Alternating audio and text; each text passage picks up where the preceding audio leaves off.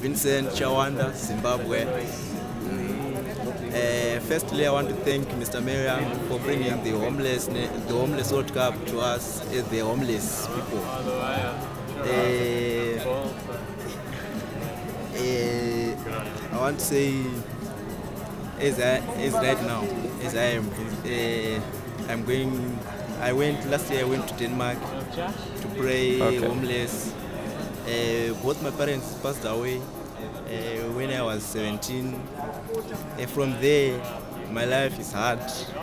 So um, I meet the guys that the owner of the the owner of the found the founder of the homeless in in Zimbabwe Yeah. coordinator Tawanda Karasa and said to me uh, come and join us. Maybe you can do better in your life.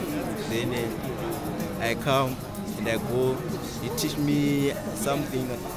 Then uh, I went to Denmark and now my life is better. So I'm looking to do something in my life to like to play soccer like to like Eric Cantona, uh, Beckham. That's what I want to do. So, So are you a Manchester United fan? yeah, I'm the Manchester United fan. Oh no no no no no. So um, nah, that's it. so that's your goal. Okay.